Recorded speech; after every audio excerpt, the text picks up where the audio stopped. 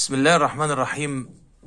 فيديو النهاردة خاص بال diagnosis of diabetes mellitus. بال American guidelines هنشوف التوصيات الأمريكية في تشخيص السكر. بتقول إيه؟ أول حاجة لو أنا عايز أشخص عيان سكر طبعا أنا هشخصه بأرقام السكر بتاعته بالأرقام اللي هتطلع لي في تحاليل السكر بتاعته. طيب أنا هحلل للعيان سكر إزاي؟ والله أنا ممكن أحلل له سكر عشوائي في أي وقت من اليوم.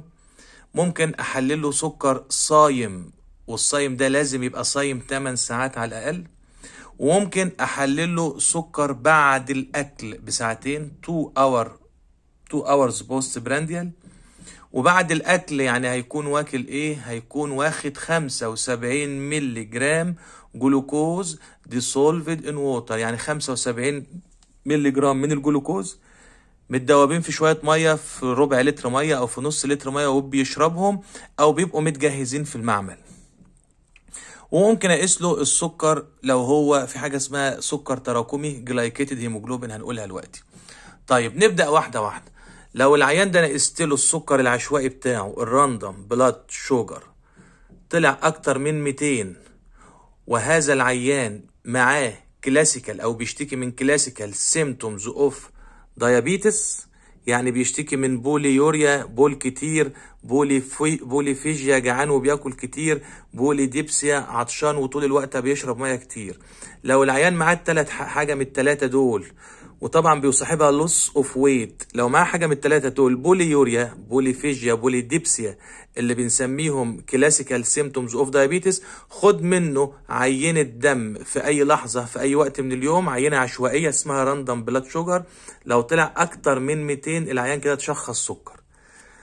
يبقى ال random blood sugar سكر عشوائي في أي وقت من اليوم أكتر من 200 والعيان معاه classical symptoms اتشخص سكر وخلصنا من number 1 number 2 هقيس له صايم. هاخد عينة عينة دم من جسمه وهو صايم احلل له السكر.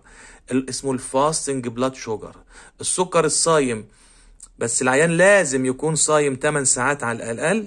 لو السكر الصايم أكتر من 126 ده سكر. بس لازم يتم تأكيد السكر إن أنا آخد له عينة أخرى. يعني عينة تانية بعد يوم تاني يوم أو تالت يوم. two separate samples يعني العيان يصوم النهارده 8 ساعات واقيس له السكر ألاقيه أكتر من 126 واصبر عليه يوم واثنين واخد له عينة تانية وألاقيه أكتر من 126 وهو صايم 8 ساعات يبقى ده كده سكر. يبقى ال fasting blood sugar أكتر من 126 في two separate sample عينتين منفصلتين في يومين منفصلين. طيب تالت حاجة أشخص بيها السكر 2 hours post prandial يعني هاخد عينة من هذا الشخص اللي هي عينة السكر الفاطر. بعد الأكل بساعتين 2 hours post prandial prandial يعني بعد الأكل بساعتين. وقلنا هيكون واكل إيه؟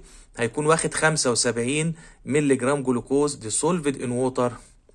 During oral glucose tolerance test. يعني أثناء ما بنعمل اختبار اسمه ال oral glucose tolerance test بقيس فيه يعني إزاي العيان جسمه بيتعامل مع الجلوكوز. هنبقى نقوله بعدين. انسى ال OGTT دلوقتي. اعرف لي إن ال 2 hour post prandial للعيان بيبقى واخد 75 مللي جرام جلوكوز dissolved in water متدوبين في مية وبعد ما ياخدهم يقعد ساعتين وآخد عينة دم أحللها ألاقيها أكتر من 200 وأعيدها تاني في يوم تاني ألاقيها أكتر من 200 كده بقى سكر.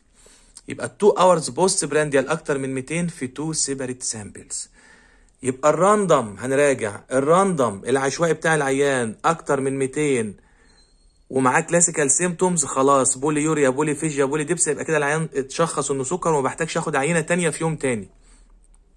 العيان الصايم بتاعه بعد ما صام 8 ساعات أكتر من 126 واخد عينة تانية separate sample في يوم تاني ألاقيها أكتر من 126 العيان كده اتشخص إيه؟ سكر. العيان ال 2 hours post prandial بتاعه بعد الأكل بساعتين. طلع أكتر من 200 وآخد عينة تانية في يوم تاني 2 separate sample ألاقيه أكتر من 200 أكتر من أو يساوي 200 سكر. طيب تالت حاجة ال glycated hemoglobin. ال A1C ال glycated hemoglobin أو السكر التراكمي. السكر التراكمي لو أكتر من أو يساوي 6 ونص في عينه خدتها من العيان أشك إنه سكر. أتأكد إزاي؟ العينة اللي طلع فيها السكر التراكمي أكتر من ستة ونص يعني ابنورمال اتش بي اي 1 سي في 1 sample في نفس العينة في نفس العينة دي أقيس له فيها الصايم أو الفاطر أو التراكمي أو العشوائي. لو لقيت العشوائي عالي أو الصايم عالي أو ال two hours عالي والاتش بي اي 1 سي عالي في نفس العينة يبقى العيان ده تشخص إيه؟ سكر. نراجع تاني مع بعض. عشوائي أكتر من 200 ومعاه classical symptom سكر اللي هو random blood sugar صايم أكتر من 126 في two separate sample سكر. 2 hour post prandial بعد الأكل بساعتين أكتر من أو يساوي 200 في two separate sample سكر. السكر التراكمي glycated hemoglobin أكتر من ستة ونص سكر. بس الملحوظة هنا إن ده ال glycated hemoglobin أو السكر التراكمي اللي بيقيس معدل السكر خلال 3 شهور اللي فاتوا not used alone ما أقدرش اشخص بيه سكر لوحده بالسكر التراكمي لوحده. يعني لو عيان لقيت السكر التراكمي بتاعه أعلى من ستة ونص لوحده ما يشخصش سكر.